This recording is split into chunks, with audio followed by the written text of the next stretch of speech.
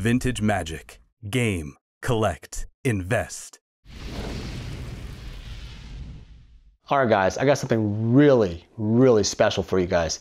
So, as you guys know, you guys follow my YouTube channel, I talk a lot about graded cards and other rarities, but very rarely do I ever get a chance to actually show you the high-end cards when they're sold because a lot of collectors don't want me to discuss about them. But in this particular case, I'm able to actually show you uh, some of the details of the sale um, and also show you uh, why this collector loves the cards so much.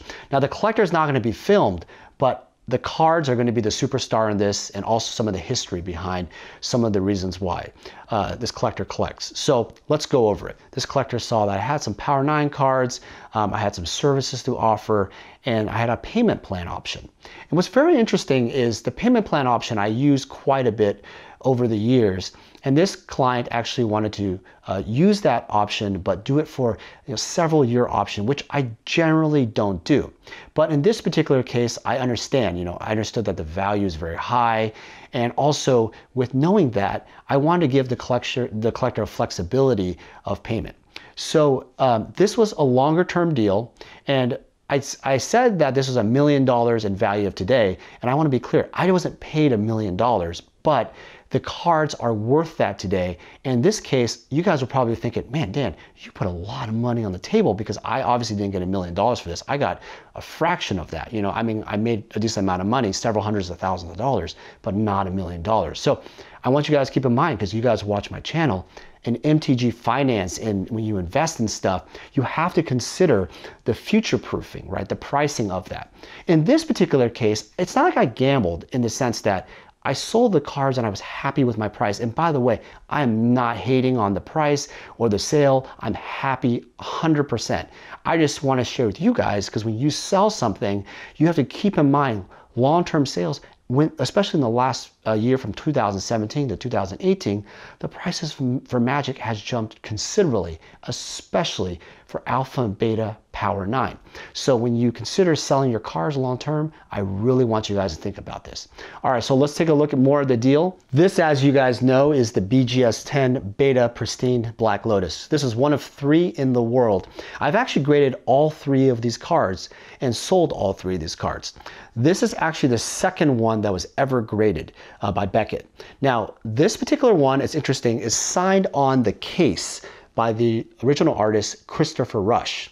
And what's really great about this is, be, well, you know, what's really great about this is it has the best of both worlds. Collectors enjoy uh, the cards signed on the card and also the case. Let me give you an example of a card that's signed on the card. This particular card is a BGS 8.5 Alpha Mox Sapphire, signed on the card by Beckett. It's interesting because the subgrades we keep talking about are actually on the back of the card. And what's really, really important to understand is that because of the label itself, it, there's not enough room for the actual card label, if you notice very carefully, because there's also an autograph grade. So not only is this a card grade, it's also an autograph grade and a card grade. So you get authentic authentication of the card, you get the autograph grade, grading, and you also get the actual card grade subgrades as you expect from Beckett. Um, so this collection has not only graded, car, uh, graded autograph cards and also ungraded cards too. All right, so let's talk about why people would want a signed card on the card versus a card that's not signed. It's kind of like one of the biggest debates ever. People, you know, there's people that really love signed cards on the card because it gives you that connection with the original artist. And then there's collectors who say, well, the card signed on the card is actually marked or damaged or, or you know, just inked. And that's not the case, but in many ways, you know, it gives that collector a certain type of uh, choice, you know.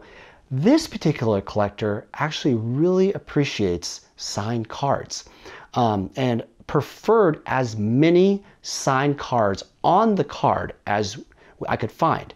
And this particular collection has a majority of the cards signed on the card. So uh, to that collector, it's it builds a really personal touch. You know, it's almost as if like, you know, imagine like Babe Ruth or Mickey Mantle in baseball card world. Or if you talk about like Picasso or, you know, a famous painter, they actually touched that item and they hand signed it. And as you know, like in the art world, if you have a signed Picasso print, uh, Giclée, it's worth way more than a, a that's not signed. It's that personal touch. It's that uh, artist's signature. Uh, you know, it, really defines the value to a lot of people. All right, so what's really, really interesting in the graded card world is subgrades. I mean, there is so many collectors who have fascinations on, oh, I want the best centering, I want the best corners, best edges, best surface. And every collector is different. But in the graded world, and for Beckett grading, there's four subgrades. There's corners, centering, edges, and surface.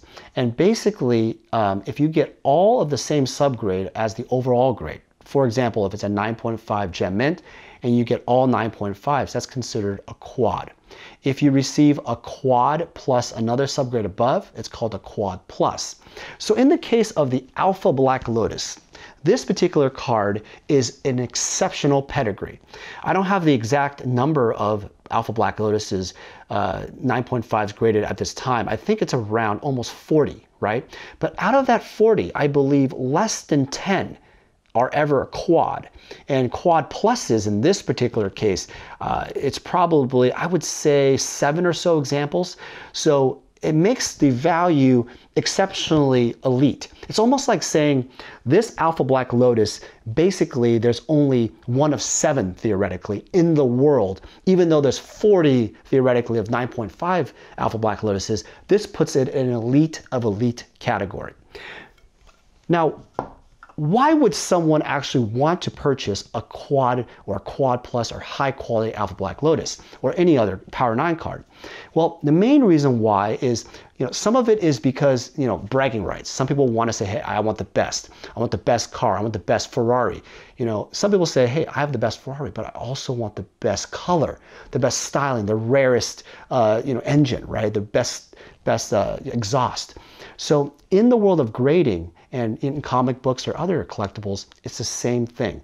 You have collectors who want uh, the exceptional pedigree. This particular collector was a little different. Um, while he wanted, you know, the signed cards and the unsigned cards, subgrades wasn't a big deal. You'll notice that a lot of the, uh, the cards were not high grade subs. For example, this is just a basic subgrade Alpha Timetwister. It's a very beautiful card, a very beautiful specimen. And so um, it's not a quad though. Notice carefully, there's a nine also in the subgrade. And that wasn't important to the, to the collector. You know, the collector just wanted an overall grade of 9.5. All right, so in this collection, I want to share with you one more iconic piece. It is, again, the BGS 10 Beta Black Lotus.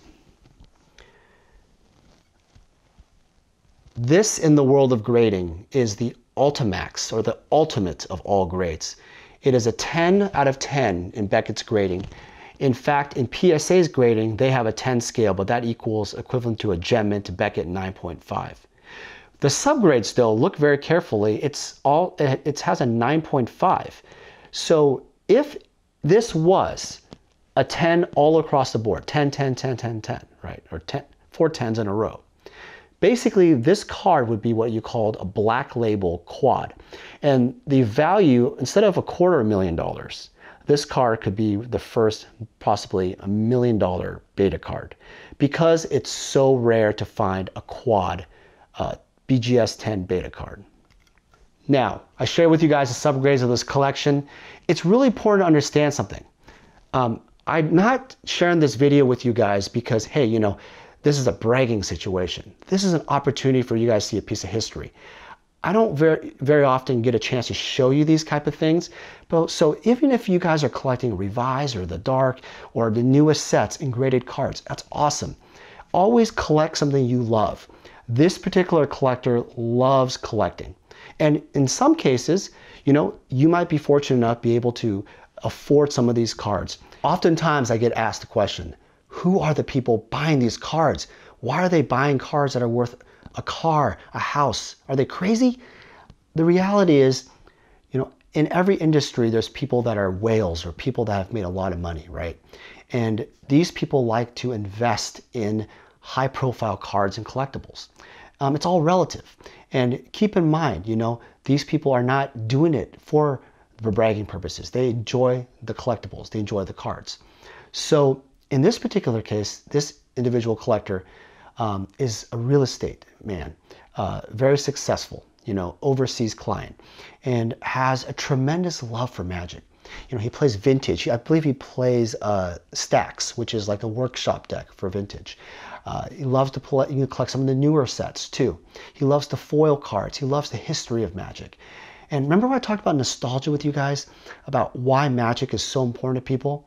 It's the same thing for any class of collector. It doesn't matter if you're rich or poor. You love it because of nostalgia for the game. And in some cases, if you're able to afford a million dollar type of collection, uh, you know, you're, able, you're wanting to collect the elite uh, collectibles. And they become not just, you know, the cards, but they're artifacts, they're historical items. You know, one day I wouldn't be surprised, guys, if you guys walked into like the Smithsonian or some type of museum where they show one of the BGS 10 beta Black Lotuses. And that that kind of display of magic is like a piece of art. It's a piece of history of our game. Um, and it remember, resembles a lot of like baseball cards and comic books. You know, you look at like Superman number one, I believe it sold recently for almost $3 million. Think about that. That kind of history, the storytelling behind that, the movies that were created, um, the fandom, right? It's all about the history of something. Um, so I hope you guys really enjoyed this video. There's a lot to this video and it's not very often I get a chance to share something very exclusive, something very special. And if you're looking to purchase any of these cards, if you're looking to sell some of these cards to me, I'm always happy to consult with you. Just hit me up at daniel at vintagemagic.com or go to vintagemagic.com and take a look at my website. Um, I, I think the most important thing for this is the white glove delivery for clients. A lot of clients ask me, hey Dan, I don't want this thing shipped. I, I honestly would like you to fly to see me. This particular, particular client, I'm flying to New York to hand deliver these cards to the client for a safe delivery. And I've done this for uh, hundreds of clients in the past. And honestly, I feel way, way, way more peace of mind knowing that these valuable artifacts are not shipped in FedEx or the Postal Service. I think it also uh, speaks a testament of my interest for relationships because this particular client, we're gonna have an opportunity to play some magic. We're gonna have an opportunity to talk about our families and life and projects uh, he wants to do. And I'm gonna have a great time, maybe even watching a Broadway show when I'm in New York, going to Times Square you know, I think we're gonna have some sushi, we're gonna have some food. These type of memories, I can't wait to have with the client because I've spoken to this guy, you know, on Skype for so long, right? You, you talk to these clients and now I can finally meet someone who has so much passion for the game. All right, guys, I hope you guys enjoyed the video. I can't wait to share with more collections with you guys. Thanks again for watching. Vintage Magic. Game. Collect. Invest. For more information about our consulting and professional services, visit vintagemagic.com. Thank you everyone for supporting our channel. It means a lot to me that you're enjoying the content we're putting out there. I have a Patreon page that supporters have access to special perks and rewards. Become a supporter at patreon.com slash vintagemagic. As a patron, you receive exciting pricing on sealed product, flash sales, annual gifts, and personalized consulting services from me. Again, thank you for subscribing to our videos and supporting the channel. I love meeting players, collectors, and investors all over the world. If you see me at a Grand Prix, please come by and say hi. I would love to meet you. Thank you everyone for your support and friendship.